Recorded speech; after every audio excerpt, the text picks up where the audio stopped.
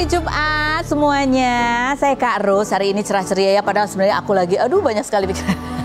Tapi tetap fokus hari ini untuk menemani Anda di acara Rupi. No Secret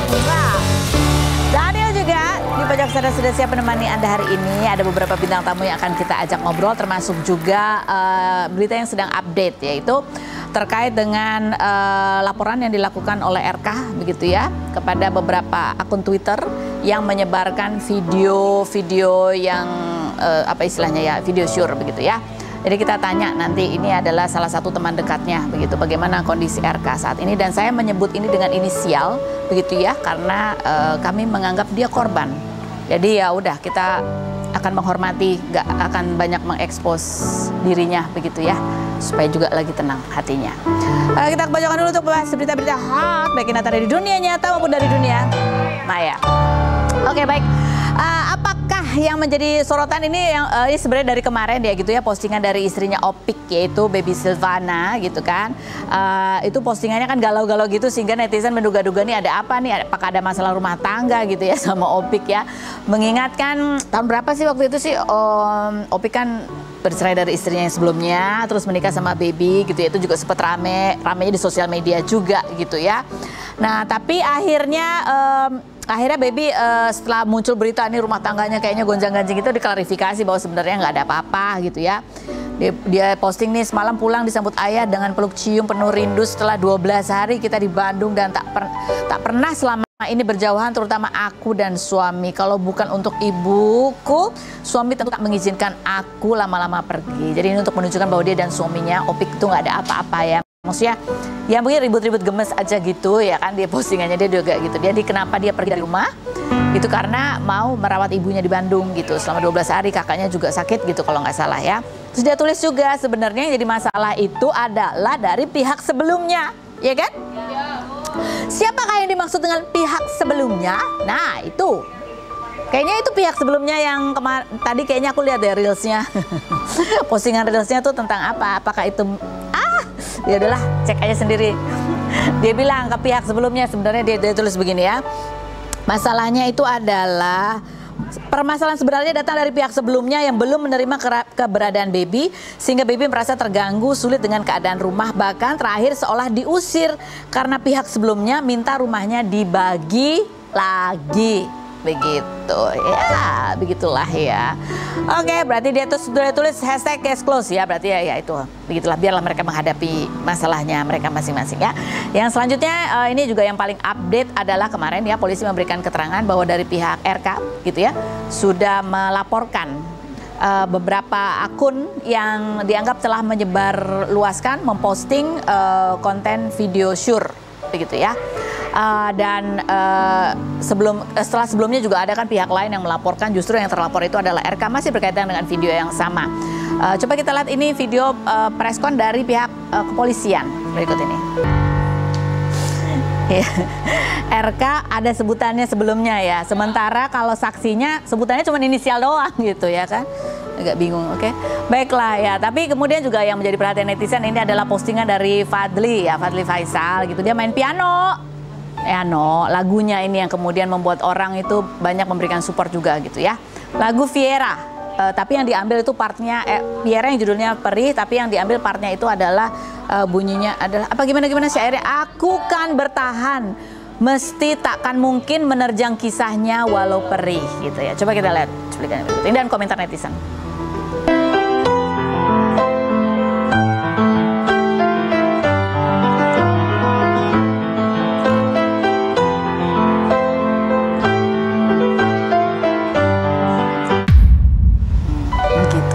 komentar netizen coba ini uh, banyak uh, kalau kemarin-kemarin banyak netizen yang menghujat begitu ya yang menjadikan ini mungkin bahan bercandaan juga begitu ya. Tapi uh, tadi banyak sekali sekarang yang membuat uh, memberikan supportnya ya. Tadi Ai buat story lagunya Vera yang judulnya perih tapi cuma piano yang dimainkan. Lagunya yang bagian aku kan bertahan meski tak mungkin menerjang kisahnya walaupun perih.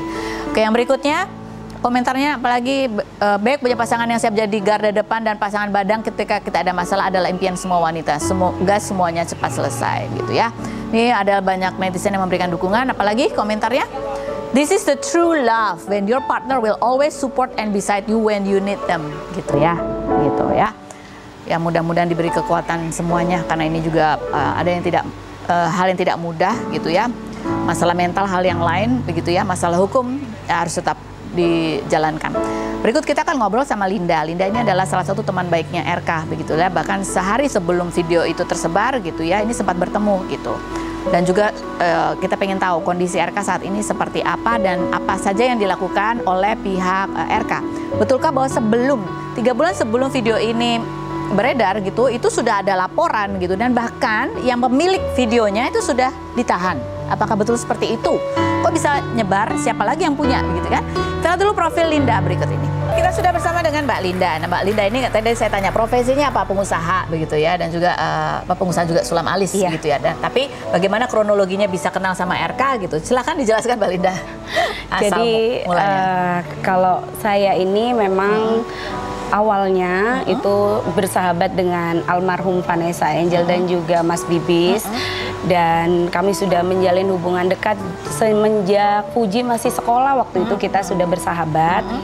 dan akhirnya setelah kejadian almarhum Vanessa kita semakin dekat -huh di dalam circle, tersebut. Jadi, jadi sama Fadli, Fadli jadi teman-temannya semuanya. Teman-temannya semuanya. Jadi memang kenalnya awalnya karena almarhum Vanessa dan kenal adik-adiknya semua. Jadi pacar-pacarnya Fadli, siapa pun yang hubungan dekat ya kita akhirnya jadi kenal, berteman semuanya. Berteman gitu ya. Iya. Oke.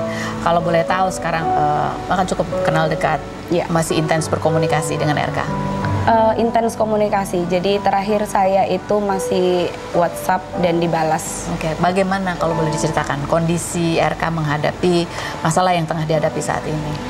Kalau uh, secara fisik hmm. mungkin dia masih terlihat baik-baik saja, belum sampai drop masuk rumah sakit Kak Ros, tapi kita nggak tahu ya secara mental, secara psikis pastinya itu akan drop sekali hmm. di posisi RK. Pasti. Kalau kita sebagai perempuan, kalau kita memposisikan diri di posisi RK, kita juga nggak bakalan sanggup di posisi tersebut. Okay. Terus uh, kalau boleh tahu siapa yang mendampingi RK saat ini untuk uh, apa istilahnya membantu mengendalikan atau mengatasi ya stresnya, depresinya? Uh, jadi sampai saat ini Fadli pun masih ada buat RK. RK. Terus kami teman-teman terdekat juga ada buat RK. Jadi kami sangat mendukung uh -huh. uh, karena kalau bukan kita sebagai sahabat uh -huh. yang tetap support sama dia menguatkan mentalnya uh -huh. siapa lagi kan -huh. gitu jadi ada selalu ada yang mendampingi untuk temannya dia yeah. curhat ngobrol segala yeah. macam gitu ya nah uh, ini kan uh, RK sampai saat ini masih mematikan kolom komentar juga gitu ya tapi kemarin juga sempat posting story yang kita jadi khawatir gitu banyak khawatir karena postingannya dia tuh kok seolah-olah kayak dia lagi menguatkan dirinya tapi gitu ya kita agak khawatir juga iya iya sebenarnya memang tidak baik-baik saja mentalnya. Memang tidak dalam keadaan baik, cuman memang e, masalah ini kan sudah dari tiga bulan yang lalu. Masalah ini ada dari tiga bulan yang lalu sudah diproses juga mm-hmm. dan ada beberapa pelaku yang memang sudah ada dua pelaku yang sudah ditahan, tapi waktu itu kasusnya memang lebih ke pemerasan, mm. pemerasan, pengancaman. Jadi akhirnya ada yang sudah masuk gitu ya. Dua orang. Dua orang. Kalau boleh tahu dua orang ini uh, uh, apa kaitannya sehingga bisa melakukan pengancaman, pemerasan? Iya, Apakah ini juga termasuk revenge porn ini juga? Uh, iya, video tersebut. Jadi Jadi video yang itu. Iya, okay. jadi mau mau disebar jadi pengancaman, iya. Dan uh. akhirnya setelah diproses dan masuk dua orang. Oke. Okay. Uh, jadi orang yang ngancam ini kenal ya sama RK ya? Uh, kalau kenal sih saya sebenarnya nggak kenal. Hah? Yang kenal yang ngancam ini nggak kenal? Yang ngancam itu setahu saya nggak kenal, setahu saya ya. Nah. Jadi saya berbicara di sini semuanya yang sepengetahuan, sepengetahuan saya. kamu. Iya. Oke, baik. Jadi, Jadi tiga bulan yang lalu sebetulnya sudah ada laporan RK yang iya, melaporkan iya, juga ya. Iya. Karena ada pengancaman, Betul. ada pemerasan, Betul. begitu ya, Betul. ya dan uh, yang digunakan untuk memeras dan mengancam itu Betul. adalah materi video tersebut. Benar. Dan sudah ada dua orang yang ditahan. Betul. Tapi sepengetahuan kamu uh, dua orang yang ditahan ini uh, RK nggak kenal. Iya tapi dia mereka posisinya adalah yang mengancam dan memeras, memeras begitu ya. Betul, betul. Tapi bukan pemilik video. Bukan. Bukan yang membuat juga. Bukan. Bukan. Bukan. Oke, jadi ini ngancam. Jadi dia iya. sudah ada tuh materi betul, di luar sana. Betul. Oke. Nah, mm, eh, dalam proses tiga bulan ini kondisi Iya. RK pada saat itu tuh gimana? Eh, kondisi RK pada saat tiga bulan terakhir yang semenjak Hmm. itu ya dia gimana ya ya tetaplah was-was tetap rasa kepercayaan dirinya itu menurun drastis gitu bisa kita ingat-ingat postingan story-nya juga tidak seaktif dulu jadi memang dia dalam keadaan yang kurang baik waktu itu memang tiga bulan terakhir ini Tiga bulan terakhir ini sudah kurang baik. Iya. Nah, betulkah pada saat video itu muncul begitu ya, eh, kalian sempat bertemu padahal? Iya, jadi terakhir bertemu adalah jadi waktu hari Minggu itu kan udah viral di Lambe Turah itu ya dan hari Minggunya kita udah sempet dinner bareng. tapi tapi nggak tahu kalau itu udah ada yang upload gitu, nggak tahu atau Eh, sudah tahu? Sudah, Oh, sudah, sudah tahu. sudah ada, sudah tahu, sudah tahu bahwa ada pengancaman itu. Nggak sudah tahu bahwa videonya di viral? Twitter. Sudah tahu. Iya, ada pengancaman yang akan menaikkan di Twitter. Oh baru baru baru tahu bahwa akan ada pengancaman, Iya. tapi belum tahu kalau videonya sudah ada di Iya, Twitter. iya, belum tahu. Belum, belum tahu. Membicarakan apa kalau boleh tahu pada saat itu? Eh, kan waktu itu ada saya, Marisa Ica, RK, Fadli. eh, kami waktu itu makan malam. Nah, setelah itu memang dari awal kasus ini, memang yang mengawal kasus ini memang mendampingi itu Marisa Ica dari Oke. awal. Jadi waktu itu kita komuni Marisa Ica dan Fadli komunikasi dengan beberapa pihak kepolisian di cyber juga dan menjalin komunikasi dengan Bang Sandy Arifin juga bagaimana langkah-langkah hukum selanjutnya. Oh jadi ini kuasa hukumnya adalah Bang Sandi Arifin Iya. sekarang ini. Nah em, pa- pada saat pertemuan itu apakah setelah ditangkap dua orang ini pengancaman dan pemerasannya masih ada?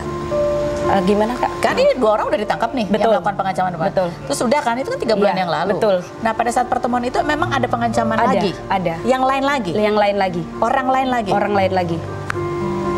Tapi RK tahu nggak sih video itu sebenarnya sumbernya dari mana? Tahu, tahu. Dan saat jadi gini kak, saya kenapa mau datang di acara ini, saya kenapa mau hadir di acara ini. Tadi pun saya juga komunikasi aktif dengan Marisa Ica sebagai sahabat kami semuanya. Jadi kita komunikasi gimana. Jadi saya di sini sebagai perempuan kan saya merasa prihatin atas ya.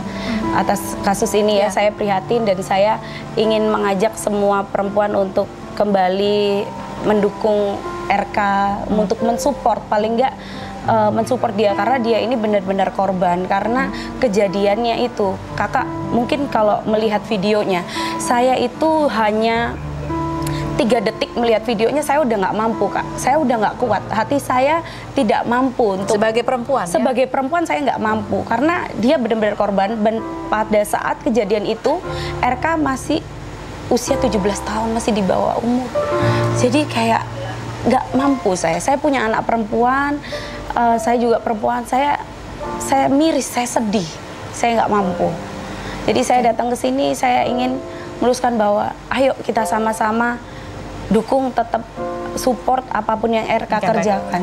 untuk semuanya, tapi terutama adalah perempuan, Iya. gitu ya. Eh, tolong, tolong berikan support. eh, kalaupun tidak punya komen yang baik, mendingan tidak usah komen, begitu ya. Betul. Karena ya kita perempuan harus mensupport perempuan.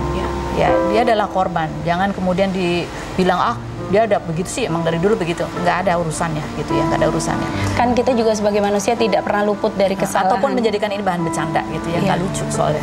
Kalau menurut saya juga nggak iya lucu ya. iya Nah, betul kak em, pertanyaan saya, ini kan kemarin dilaporkan, yang dilaporkan itu adalah akun yang menyebarkan. iya Kalau kalau memang tahu siapa yang memiliki, kenapa Iya. tidak dilaporkan juga yang memiliki?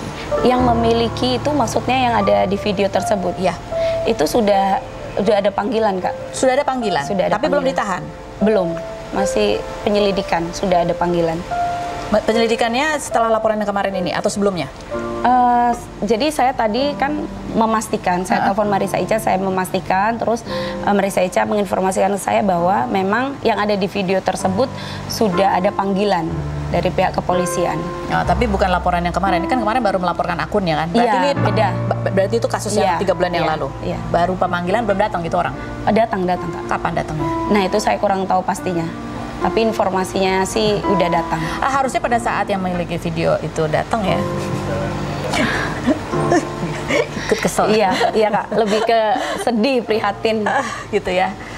Eh, ya kita lihat ini em, apa wartawan standby di mana? Apa ini? Hah? Di rumah Fadri, rumah Fadri. Oh, ya coba kita lihat. Sama ada video nih dari dari TikTok juga Marisa Ica juga memberikan pesan buat yang di luar sana begitu ya. Ini pesannya kalau ini himbauan ya, himbauan gitu ya. Tapi kalau Marisa Ica sudah dengan tegas mengatakan bahwa yang masih menyebarkan link-link itu ya, itu sudah didata semuanya dan akan dilaporkan satu persatu. Kita lihat yang berikut. Ya, eh, ya ini ini ini kalau kalau sudah jelas dijelaskan berarti bahwa memang benar bahwa ini adalah kasus revenge porn. Ada ada kemungkinan ya, kayaknya sih kemungkinan revenge porn ya karena ada pengancaman begitu ya dan ada pemerasan. Iya. Dan bahkan yang yang punya juga sudah di- apa dipanggil untuk Iya. menjalani, tapi belum datang, masih dalam diperiksa.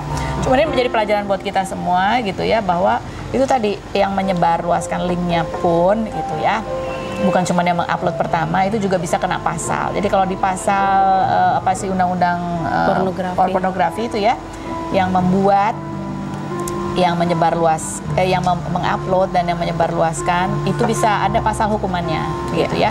Tapi janganlah kita eh, nggak melakukan itu karena takut, tetapi harusnya kita jangan melakukan itu karena sadar bahwa ini adalah sebuah kejahatan dan bukan bahan bercandaan. Apalagi kalau yang bercanda itu juga sesama perempuan, ya, gitu ya. Jangan bilang ah nggak mungkin terjadi pada diri kita. Kita nggak pernah tahu lah orang jahat di luar sana, gitu ya. Atau itu, apalagi ini anak umur 17 tahun pada saat video itu dibuat. Salam buat RK dan keluarganya. Mudah-mudahan teman-temannya ini juga bisa memberikan dukungan yang luar iya. biasa, bantuan hukum, dan yang terpenting adalah untuk psikologinya. Oh ya itu. Itu makanya saya di sini karena untuk uh, menyuarakan bahwa kalau bukan kita yang mulai mendukung sesama perempuan, mau siapa lagi? gitu. Siapa lagi? Ya hentikan ya, hentikan sudahlah. Gak usah komen-komen kalau nggak punya komen yang menarik, yang baik, gak usah komen. Ya kalau bahasa yang lebih ininya lagi, jempol anda bisa mengundang dosa juga. Betul. Gitu ya. Baik, Linda, Mbak Linda terima kasih sudah hadir. Makasih. Mudah-mudahan Kak. ini bisa mem- membuat orang juga ya udahlah menghentikan hentikan hujatannya ya. Iya. Baik, kalaupun kemarin sempat menghujat ya udah hari ini stop. gitu ya. Oke, setuju? Ya, baik. Kita menuju ke bintang tamu kita selanjutnya ada siapa? Siapa bintang tamunya? Oh, ada Pet Cow. Oh, ini sejak dia menikah belum main-main ke sini lagi ya. Aku masih banyak penasaran ingin tanya-tanya. Betulkah dia itu berencana nanti kalau udah punya anak nanti biar dia aja yang kerja, suaminya yang disuruh di rumah gitu ya. Lihat profilnya berikut ini.